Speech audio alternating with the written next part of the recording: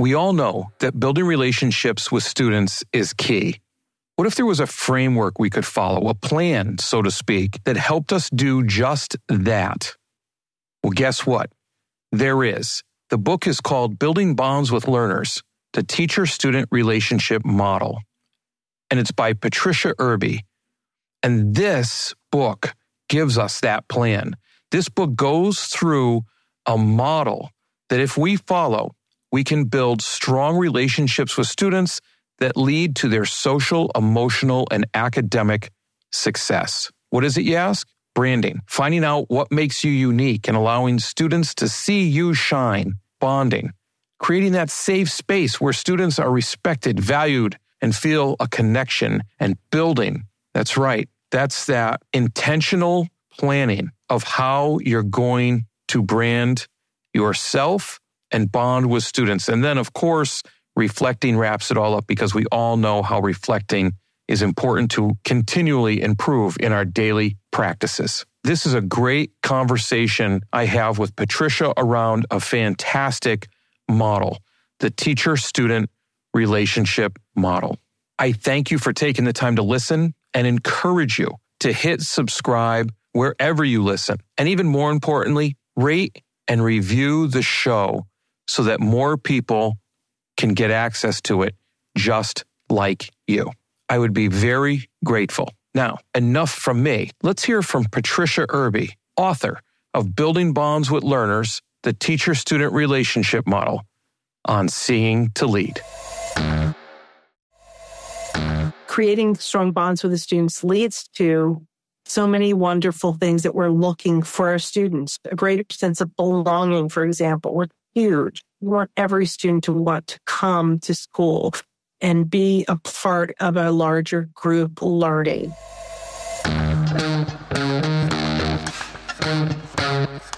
Dr. Chris Jones here, and welcome to Seeing to Lead, a show designed to help leaders increase their ability to effectively support, engage, and empower their staff through intentional practices so that they create an environment where everyone reaches their greatest level of success. On Seeing to Lead, communication rules the day as we hear voices from both teachers and leaders in an effort to examine perspectives, highlight misunderstandings, and provide steps to ultimately bridge the gap between what teachers need and provide through thought thoughtful dialogue. This show is about amplifying voices, creating understanding, and providing information to help everyone continually improve. I want to personally thank you for taking the time. Now, let's get to getting better. Patricia Erbe is an author and former educator in Pennsylvania's West Chester area school district, where she taught for decades at the elementary and secondary levels while also serving as a team leader, curriculum developer, science advocate, early field and student teacher mentor and consultant to individuals and organizations for professional growth and practical teaching applications. In addition to these leadership experiences, she has bolstered her social emotional focus by leading extracurricular activities and clubs for young learners and as a consistent informal mentor for colleagues. During her career, Miss Erbe was awarded Best Teacher of the Year and has continued to work toward elevating student potential through relationship building and keeping up with current research and educational offerings. In addition to benefiting from numerous professional development opportunities, she has assisted other educational leaders in presenting professional development seminars. Patricia received her bachelor's degree in elementary education from Millersville University and a master's from Wilkes University, emphasizing educational development and strategies. In addition, she acquired a secondary teaching certificate and has completed extensive coursework in social emotional learning. Patricia is, yes, an author, but her book was recently released, Building Bonds with Learners, the teacher student relationship model. This is where a lot of our conversation is going to live today. I really liked this book because it focuses on practical strategies for building and maintaining relationships with students. So, Patricia, welcome to Seeing to Lead. Thank you so much, Chris. I'm very happy to be here. This is going to be a really good conversation because it centers on the idea of relationships. And we talk a lot about relationships in schools and how you have to start with relationships if you're going to teach students what they need to know. Because your book is a lot about that, could you take some time and just let the listeners know what led you to the book? What led you to writing this book? Oh boy, about five years ago or so, I was reaching a milestone of 25 years of teaching and thinking, what is my teaching legacy? And then COVID came and there was a lot of time to think even more about it. And I reflected upon my conversations with my colleagues and them, a few of them saying, what am I going to do one day when you're not here and I use you as a mentor? And in all humbleness, I said, I, I don't know, but you can certainly reach out to me. And that made me start to think about not just me, but many other educators who are looking toward those senior years of teaching and beginning to leave and retire and so forth. And, and I thought I really wanted to leave something behind, something structured that teachers co- knew coming into teaching and even teachers who are wanting to improve their relationships with students would be able to use. So I started looking online for a one stop. I always knew I had a book in my head. Let me back up a little bit. Uh, I knew that I wanted to write something. I didn't even know what. so this kind, this thought process led me to writing the book eventually. And I was looking for uh, in my research a one stop resource for teachers where they could gain insight into better connections with uh, young learners. And I didn't see a one stop shop there. I just saw bits and pieces, chapters here, maybe a focus on a particular student, type of student that, you know, you could connect with and how to do that. And so then I looked at some other research and saw what, something very powerful. I mean, we all I think all educators know that when we make positive connections with students, we definitely are assisting them in their journey. You know, it's a wonderful thing. But I think in seeing this research on, believe it or not, a hormone called oxytocin, I don't know if you've ever heard of that, but it's released by the brain when individual or relationships are built among people, either two people or groups. And it actually uh, regulates the emotions and social competencies. And I was like, wow, this is more important than I realized. Maybe we need to look at this more concretely. And so through the research, I started writing the book in my head. I had it mapped out exactly the way I thought it should go. And that led to um, the teacher relationship teacher student relationship model. That's fantastic. And, you know, it's one of the things we had talked about before I, I hit record is how I love the book and how it's structured around the teacher student relationship model. Before we get to that, because it's broken up by that and it kind of follows that model with each piece of it, which I think is going to be really helpful for the listeners. I know at least it was really helpful for me, made me do a lot of reflecting as I read through it. But I had asked you again before the show what your superpower was, and I just find it really fascinating how it ties into why you wrote the book. The idea that you're great at connecting people, but more importantly, connecting people with what they need. And so I love how that manifested itself in the book. Was that something you realized was happening, or was that something you said, Hey, I'm really good at this. People need this. I see a need. Let me provide the need. I think I felt I had a gift of that in make, you know, the connection gift, I call it. And then I saw the need and I just went with it. Like you said, this. Yeah. Yeah. But that, what you just said, I, you know, it's, I realized that, and I say this in the book, you cannot pave a road while you're driving on it. And neither can you drive on it without directions. You have to have a map. And I, in making connections all my life, I knew that I had to put two and two together, so to speak. So that played into my putting this idea together and coming up with the model. So let's talk about that map or that model for a minute. You know, when when you're talking about it, there's multiple parts to it. So do you mind giving us an overview of the different sections of it? And then we can go back and we can talk about each section so people get a better understanding of what that looks like. Sure. basically the model is set up in four elements or parts. The first part being the branding part, which I know sounds very corporate, but I'll explain that in a little bit, not to uh, put any fear out there. Bonding, which is, you know, the bonding of the relationship, uh, all the aspects that go into it. And I found in my research and my own experience when I put the two together that the bonding piece is the bulk of the book. And it is where I took different, what I call consideration that are imperative to have and to know and to understand in order to build a relationship. It's not just, oh, um, beginning of the year, let me set a professional goal that I'm going to develop relationships with my students, real positive one. There really needs to be uh, a plan, which leads us to the building where you're organizing a, a consistent plan and to meet the relationship goals that you've set forth. And then finally, which is good practice for every educator, and we do it sometimes without even thinking, is the reflecting piece. The reflecting is the fourth part or principle of the model itself. And all of these are what help to facilitate social, emotional, and academic success. It's, you know, and when you walk around it, I even like how, and as you walk around, I noticed it in the book, but when you just said that, how they all build on each other. So you can't really, you can't really do bonding as effectively as possible without the branding and you can't do the building without the bonding, etc. So I really like that. And, you know, you'd mentioned branding and right when we talk about branding, we think about sales, we think about marketing, you know, Nike, all that. But what type of branding are you talk, talking about and why is that valuable to teachers?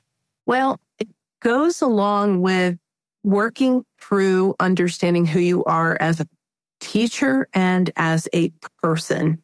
Those are two important pieces of branding. I walk teachers through who are reading this to find out what their passions are, how authentic they are, what kind of positive first impressions do they show to their student.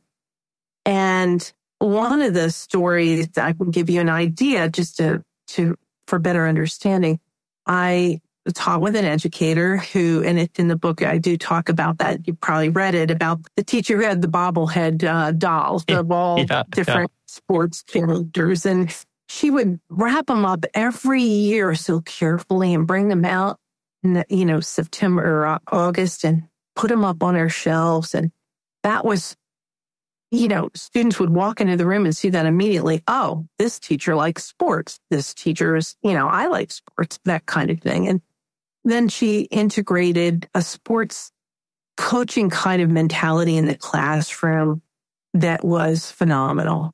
And the kids really bought into that and it helped develop the relationships through that. That was part of her brand.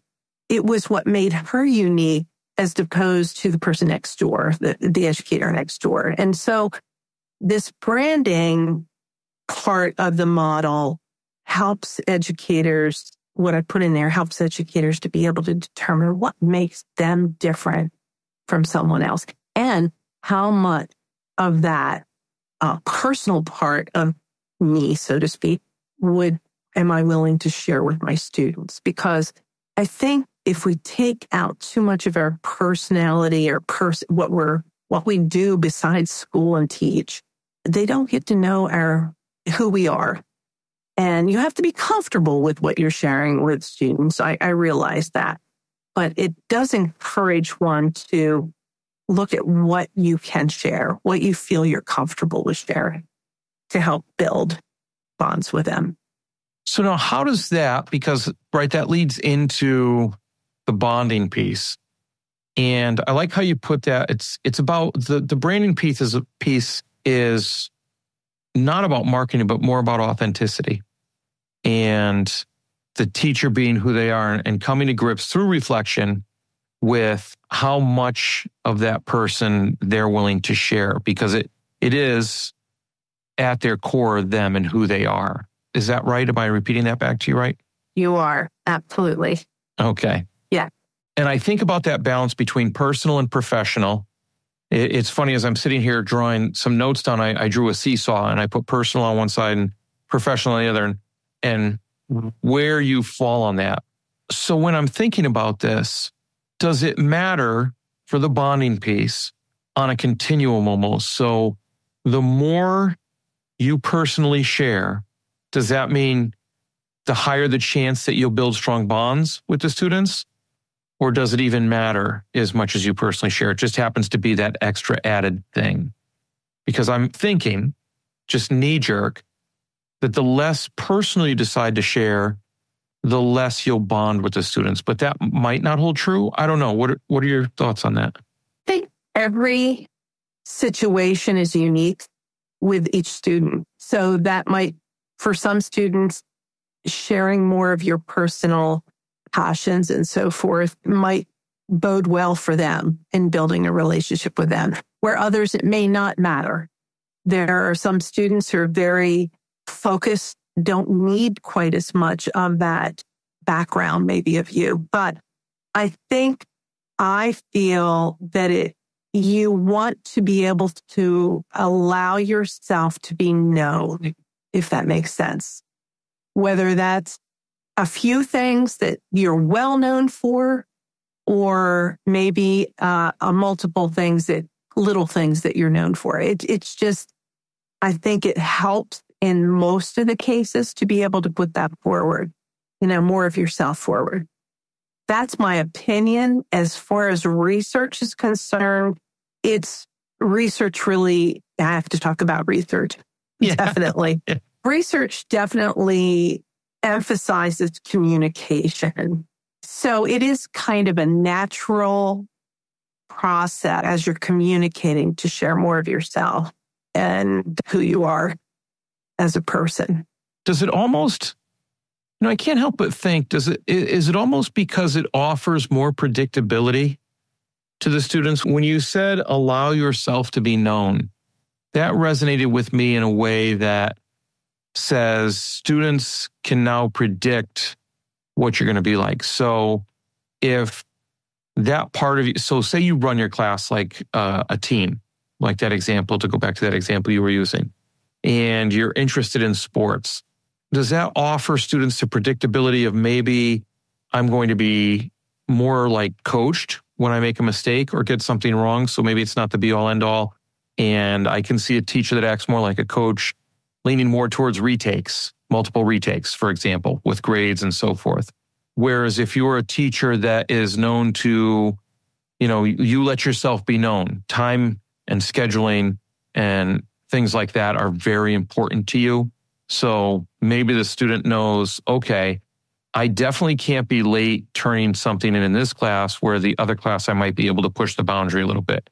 Is that why it helps the predictability piece? I think that's a, you've hit it on the head there with predictability. I think it allow, it helps the student not to have to guess, which then leads to being, feeling comfortable in the space.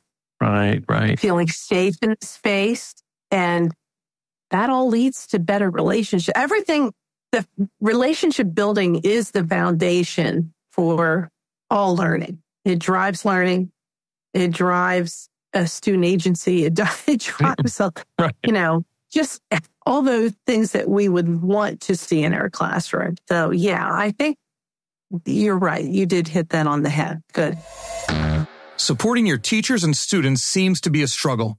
They just don't seem to be engaged. You wish they would take more responsibility for their learning and culture of the building, but they just don't seem to be empowered enough to do it. So my question is, have you checked out the book Seeing to Lead yet? It's all about creating a true educational experience where learning, growth, leadership, and community take center stage. Full of strategies and resources, Seeing to Lead is about attaining that goal by employing a model that supports, engages, and empowers all individuals to become leaders themselves. Pick up a copy today at seeingtolead.com. That's S E E I N G T O L E A D.com. Remember, you don't become a leader and then decide you need to support and recognize others more than yourself.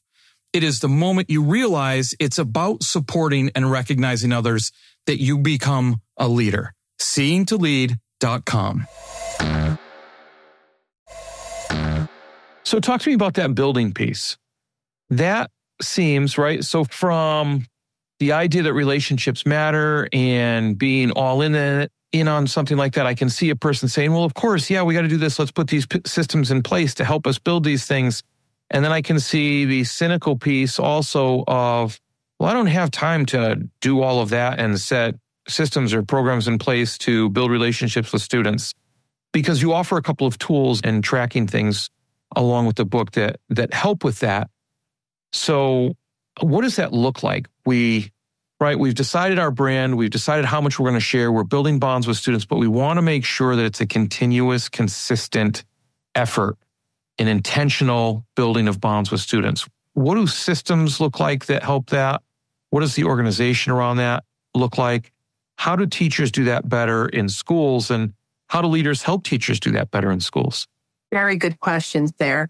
If we just back up a moment to the bonding part of this, a lot of that are things that we already do, you know, that we do well, that are built, you know, you know, the classroom learning environment, what it speaks of us, the communication. These are all really good guidelines basically throughout the bonding part of the book on what to do, what not to do, you know, with best practices basically. And we can't assume that everyone knows that in education. So it's, it's there. So the building piece, which is a step by step guide, is very simple in that there, there are different strategies and suggestions that I put in there to help you actually like questions to, you know, question, questioning students to get to know them, how to set that up, actually some printouts, you know, that can be used for data collection. And I know that sounds, you hear that word data. I know sometimes when I hear that word data, I want to run out of the room. But in doing this, which is very simplistic and making oneself more accountable, am I reaching that student? Have I reached that student this week? Have I said anything? Have I fist bumped them? Have I done anything like to connect with them at all? Putting effort there is going to make things easier in other areas, such as having to deal with behavioral issues or, you know, students who are sliding and you didn't catch it. You know, you're, you have all this in place. You know them better and they're more apt to communicate with you when there are things that they need. And so that in turn just creates those meaningful connections that when you learn more about your student. So I don't know if I answered all of those questions. If I didn't, I'll be happy to, you know, elaborate on. Well, no, I've I've got some follow up. You did answer those, and I, you know, sometimes I do that. I, I get too excited about something and I ask like 50,000 questions and then have you talk. But it's fine. I was going to say, so just tell me if I have to rein it in. But, um, you know, when you talk about, I think in my personal life, so to speak, I have so many different things going on that anything I can automate, I do. And I've had quite a few conversations lately, and this is going to seem like it's going to come out of left field. So just bear with me for a second. But recently had a lot of conversations around AI and the integration of AI and the usefulness of AI and the things that are, you know, not so useful about AI and how we grapple with that moving forward as a school with our students. And one of the conversations I had recently, it talks about how AI can help free up teachers time so that they can actually focus on more relationship SEL based things. Do you see personally, AI is playing a role when we say data, when we say tracking, when we say reminding, or to help teachers improve their ability to build relationships with students? Or is that really just too far afield and not a place for that? I really haven't thought about that. Yeah. It's an excellent question because we're on the cusp of all this just growing, you know, AI just becoming yeah so huge. I don't know. I have to say, I really don't know. an answer hmm. to that. I think we have to be careful in that we don't take away the humanness, if that's a, the correct word. You're an author. You get to make up your own words. Don't worry about it. Aspect. There you go. There you go. Relationship building. We really have to be careful with that. And this may sound a little, well, it's not, you know, it can be tech based, of course, any kind of logging of information with the plan that you create in the building phase. There, you know, I do talk about you have to actually build a plan. If you don't build a plan to build relationships, it could just be, you know, in the air.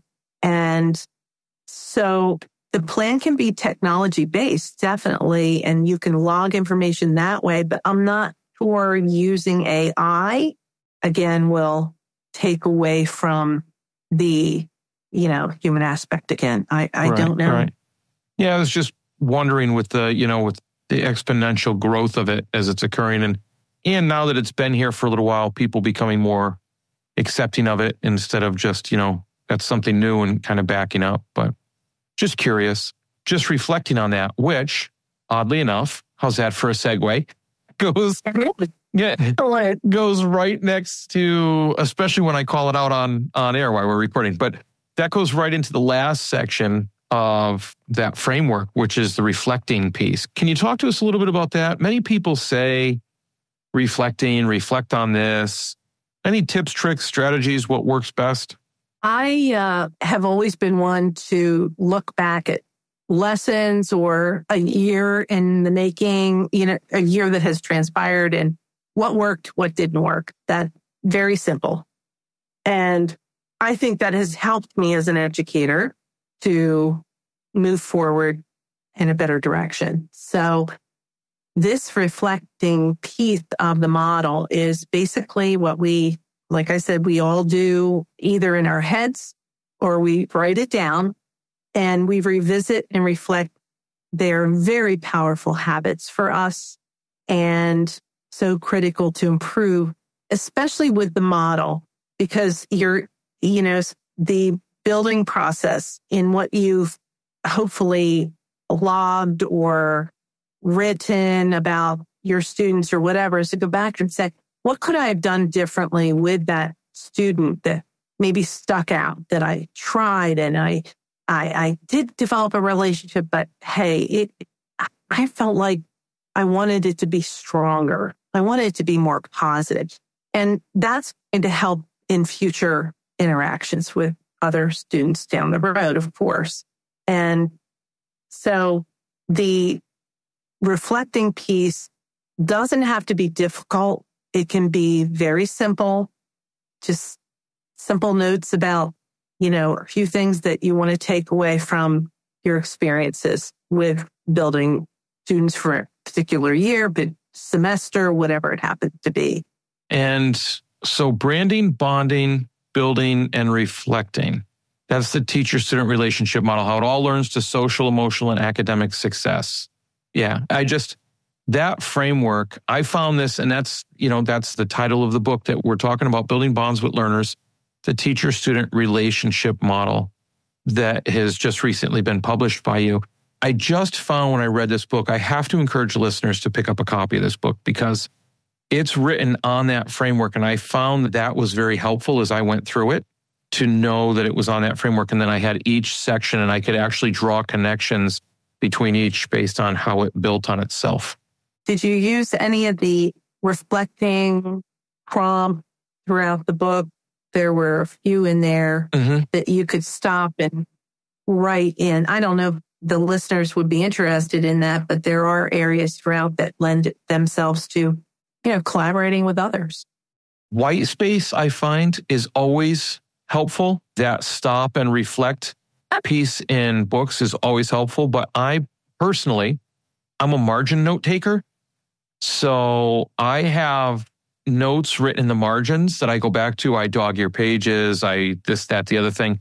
But I'm an underliner and a margin note taker. So I typically, it's funny, I save those spaces for later when I go back and look at what I did the chapter before or the section before that's meant to reflect on, And that's where I put that new thought I have or that I come up with or that really resonates with me based on what I wrote margin notes about, what I underlined, what I starred, and things like that. That's, I'm an underliner also. Highlighter, different colors.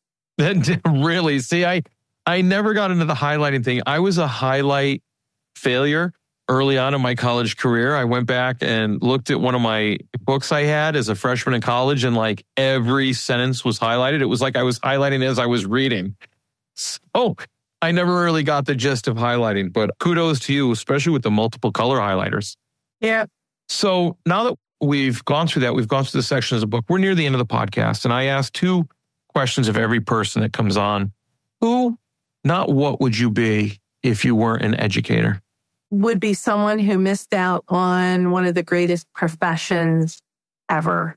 And I know that sounds very corny in a way, but it's true it has given me as much or more than as I have given it as a profession. And it's fed me, allowed me to flourish, helping others, which if we go back to what we were talking about with me realizing that connections were a superpower, so to speak, actually allowed me to do that every single day. And so I would be a probably a miserable person if I didn't. I don't know if that's, you were asking who I would be. I, I probably would fi- have to find something else that would be in, that would feed that desire to help others and connect for various reasons. And that's in the community somewhere, probably. So that is so well put and the reasoning behind it and how much this profession is meant to you. So thank you for sharing that. You're very welcome. I hope that others can find that as well. Mm. You know. Well, with people like you out there helping them, I don't see how they can't. So Okay. What you know, you've said a lot about your your model and your and the book, but what's the most important piece of advice you would give to leaders as they work to better support, engage, and empower those they serve? I guess I should those who lead educators our administrators, supervisors, directors.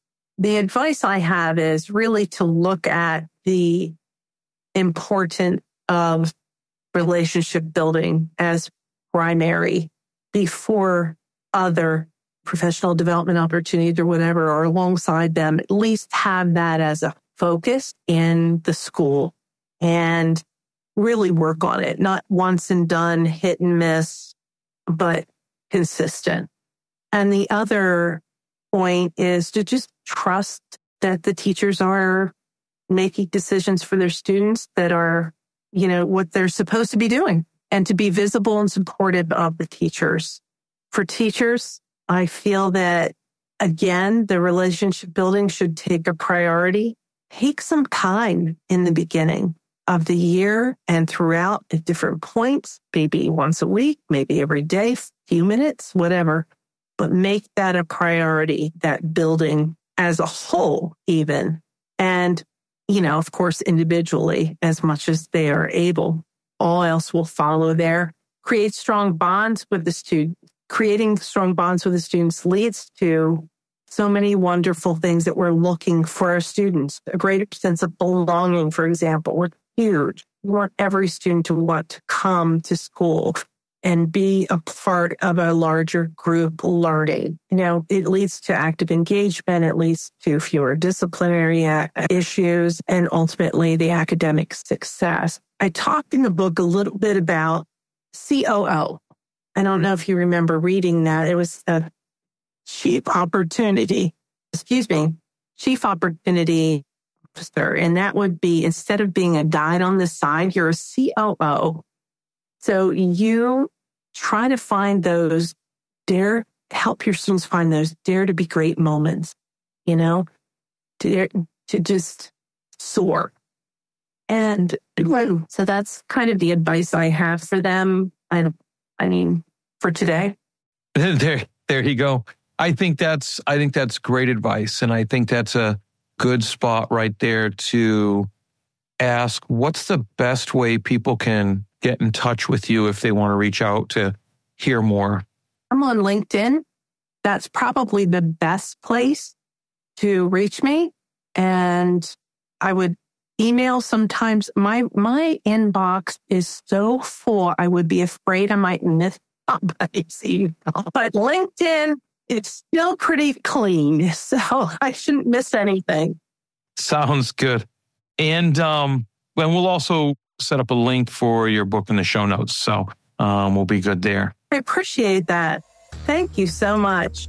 Yeah, this has been a great experience. I really appreciate your time and talking to me about my book.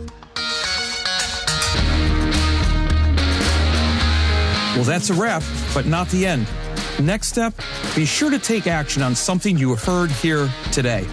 Hey, thanks for listening to the Seeing to Lead podcast. If you would like to connect for any reason, email me at drchrissj at gmail.com or catch me on Twitter at Dr. C.S. Jones. If you've gotten any value from the Seeing to Lead podcast today, you can help me and other leaders create a world class environment through a teacher centric approach by subscribing to the show, leaving an honest rating and review, and sharing this episode on social media with your most valuable takeaway. Also, one last thing. Have you had a chance to pick up my latest five star rated book yet? Grab your copy of Seeing to Lead anywhere you buy books or at seeingtolead.com. That's S E E I N G T O L E A D.com, where you can learn more and continue to improve. Now go have a successful week.